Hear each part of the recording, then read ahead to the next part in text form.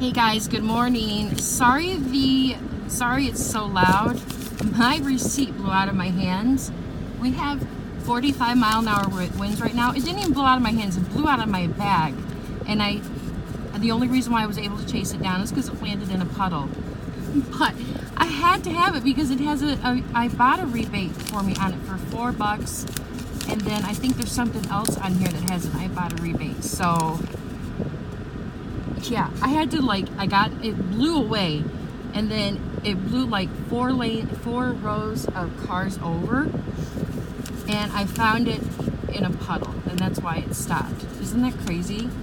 But anyways, let me turn my heat down because I turned my heat up so that it would dry so I could take a picture of it. So,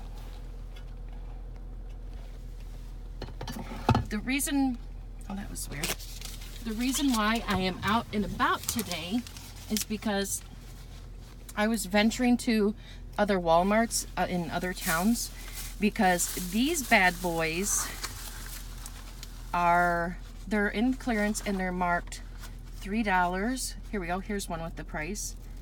They were $5.97 a piece so they were marked in half but then I saw a video on Meek's Coupon Life. I love her channel. She seems like such a nice lady.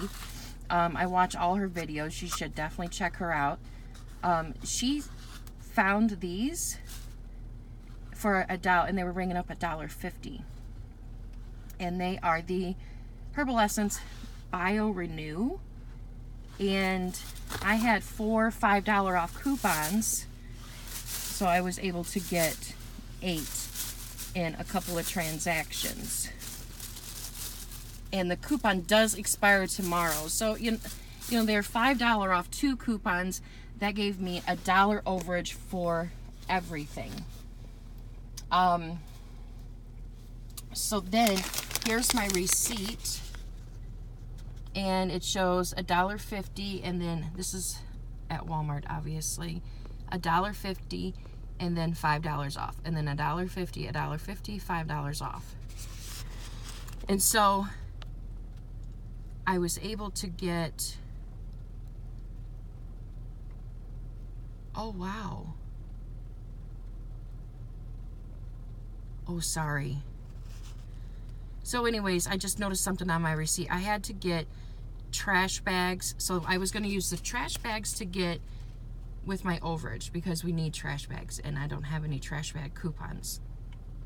We also need some rust remover for our toilets because our water is a little harsh. But then I noticed today on Ibotta that these, hold on a second, that these reset.